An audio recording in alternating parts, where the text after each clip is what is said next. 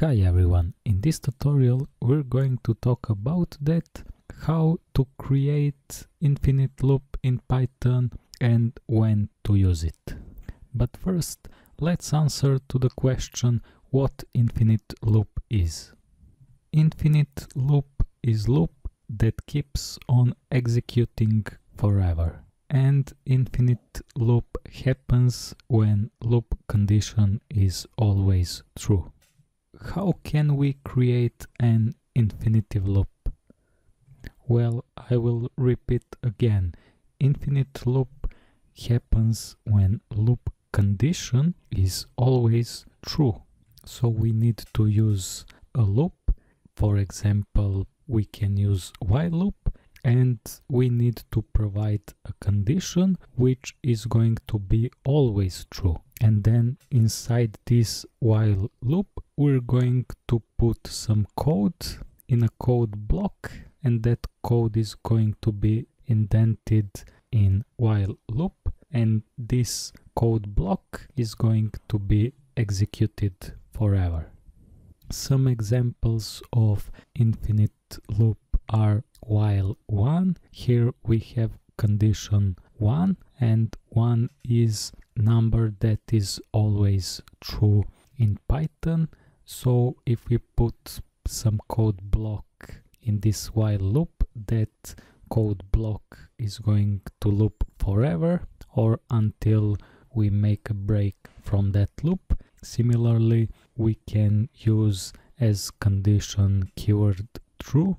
This keyword true provide us again condition which is going to be always true and again we can put inside code block anything that we want to be looped forever i'm gonna type these examples in python idle so you can type while loop with condition 1 which always going to be true and inside it you can put anything in the code block. I'm gonna keep it simple. For example, I'm going to print something forever. Let's say that I want to print this forever. And if we want to stop this infinitive loop, we're going to break this code also you can define some more complex condition which is going to be always true. For example let's say that x is equal to 1 and let's make condition while x is greater than 0 which is going to be true every time every single time. And we're going to have again an infinitive loop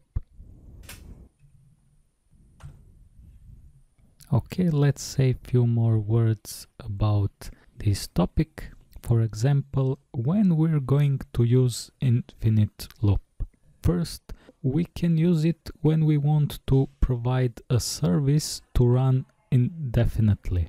For example, we can create a web server of a program that provides a service. Let's say that we have few client computers and these computers send out requests to a server on the network. And server is going to look at these requests and then it's going to send response. The main thing that we need to notice here is that web server is getting requests from clients in an infinitive loop so if we have a server, we're going to provide an infinitive loop and in this infinitive loop, our server is going to get requests from clients. And if our server is in the situation to send some response to these requests then it's going to send response then also you can see that a lot programmers often use infinite loop when they're creating a game. For example, just simple rendering images to the screen requires from us to have an infinitive loop with which we're going to render images during the gameplay.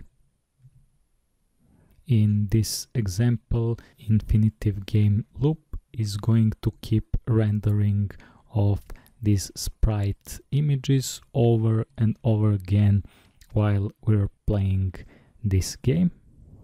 And often where you're looking at other developers code you can find that in game loop very often we have a variable that's called running and that variable has value true and main game loop is created in format while running and inside this loop goes all game code which is going to render images and so on while we're playing that game. And finally when our game is over we're going to break this loop by uh, making that the value of variable running becomes false which means that this while loop and code inside it is not going to be executed anymore that's all in this tutorial.